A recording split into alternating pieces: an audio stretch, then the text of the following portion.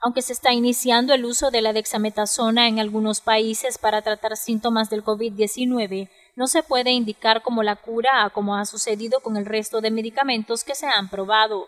La dexametasona en lo personal es un medicamento que no debemos estarlo publicitando, porque algunos médicos lo hacen, como la solución a los problemas de COVID-19. ¿Por qué? Porque simplemente los medicamentos que se están dando dependen mucho de lo que está presentando el paciente y no significa que el medicamento que yo le doy a mi paciente va a dar respuesta a todos los pacientes. Puede ser que uno respondió, pero otro no necesariamente va a tener una respuesta eh, positiva. El máster en salud pública dijo además que es importante recordar no automedicarse y que si se usa la dexametasona debe ser por recomendación y bajo control de un médico. Son medicamentos con dosis bastante controladas dependiendo de la enfermedad. Hay algo que como todo corticoide, eh, incluso he visto publicaciones que me llaman la atención porque están haciendo popular algo que se llama el síndrome de coaching.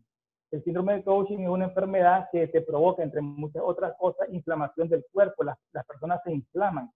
Eh, la dexametasona como corticoide es un medicamento que cuando ves a los pacientes, por ejemplo, con trasplante renal, se ven gorditos, se inflaman eh, la grasa se les acumula más producto de estos medicamentos. Son medicamentos que deben de tener cierto tiempo de la administración porque afectan todo el organismo. Entonces, eh, al final, cualquier medicamento, por muy sencillo que sea, por ejemplo la citromicina, que a lo mejor lo ves como un medicamento sin muchas reacciones adversas, la automedicación puede provocar un daño a la salud irreparable. Al igual que otros antibióticos, la dexametasona también puede bajar las defensas del paciente, por ello no se puede consumir a como el enfermo lo considere necesario. Melissa Aguilera, CDN 23.